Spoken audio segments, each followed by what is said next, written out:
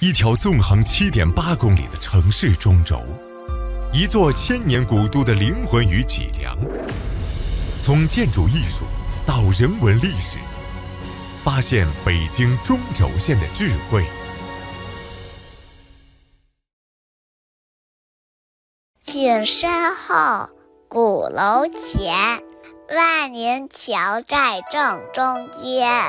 中轴线上第一桥，传承至今七百年。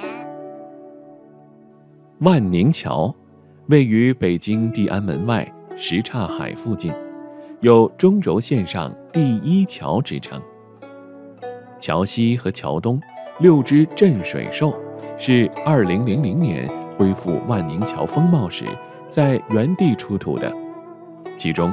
桥东侧北岸的镇水兽是元代原物，虽然风化严重，但仍不失神韵。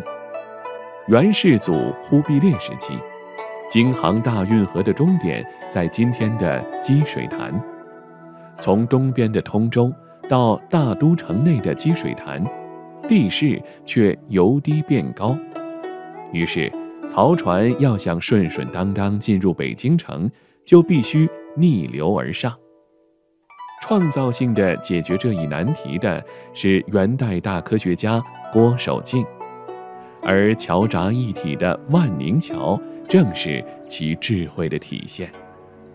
我们所在这个万宁桥呀，实际上是桥闸是一体的。它这个船闸呢，是利用的连通器原理，就是我们古代人能够应用连通器的原理，使这个船呢逆水而上。我觉得这古代人的智慧呢，值得我们传承的。